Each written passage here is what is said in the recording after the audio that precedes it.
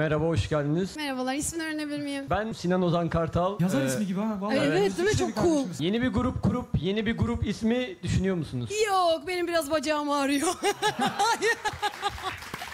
Yapmayacağım. Çünkü Hayko bana söylemişti zamanında. Biz bize şimdiden buraları kes olmadı Kesin ya. biz bizeyiz yakın çek. Hayko Grup işi çok zor bir iş zaten. Yani dediğim gibi 4-5 ayrı kafanın bir araya gelip bir, bir şey oluşturup ya ne oldu orada? Orada. Bunlar piç ya. Kimin seyircisiniz lan siz? Bir şey diyeceğim piç denebiliyor mu? Anasını bile Hayır çünkü Ya çok özür dilerim. bazen şey oluyor. Bir, konu, Bak özür dilerim çok özür dilerim. Sinirlendim biraz. Evet. Sahnede bir şey anlatmam gerekiyor ve çok sinirleniyorum ve Güray, Güray Bey sahnede bok diyebiliyor muyuz diyorum bazen ben de sinirleniyorum bazı şeylere. Ondan piç diyorsak boku ben her türlü söylerim. Sinan onu diyordum. Ne diyordum? Dur. Grupta kaldınız. Ha grup. Ya, o Allah Allah. Bir de bunu uç. Yapmayın oğlum. Senin yüzünden Türkçe, Türkçe. Türkçe çok garip. Türkçe çok garip. bence Türkçe şahane bir dil. Tabii ki şahane ama garip. Yani mesela bileti kaça aldın diyor. Soruyorum adama. 36 liraya aldım diyor. Kaça aldın oğlum diyorum. Tekrar tekrarlıyorum yani. Öyle anlam karmaşaları olabiliyor. Yoksa eminim ki ben kimsenin Allah Yok canım. ne yapalım artık.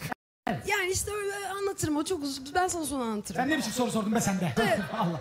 Sinan. Durmayacak. Kendi başına zaten inanılmaz bir değer. Böyle de devam ediyor. Biz de onun kliplerini Teşekkür bekliyoruz, ederim. şarkılarını bekliyoruz, albümlerini bekliyoruz. Yaşa yapmayacağım. Aynen, yapmayacağım. Yapmayacağım be.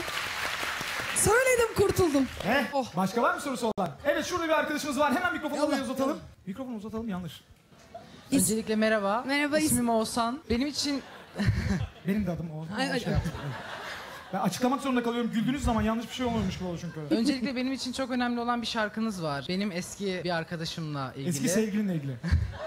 Yanında Eski yeni kız arkadaşım. arkadaşı varsa es- ya, eski kız arkadaşım diyemeyeceğine Yanında göre kız eski bir arkadaşı- arkadaşımla alakalıdır. Yok diyor. hala etkisinde kalmış ki soruyu soruyor. Etkisinde kaldıysa da yeni bir manita yapamamıştık. Ayırma Yalnızsın ayırma lütfen. çocukları burada şu an Yalnız kötü mısın? kötü şeyler söylüyor. Evet. Hayır. Yalnız ben anladım. Mikrofonu alışından anladım. Sen buradan al.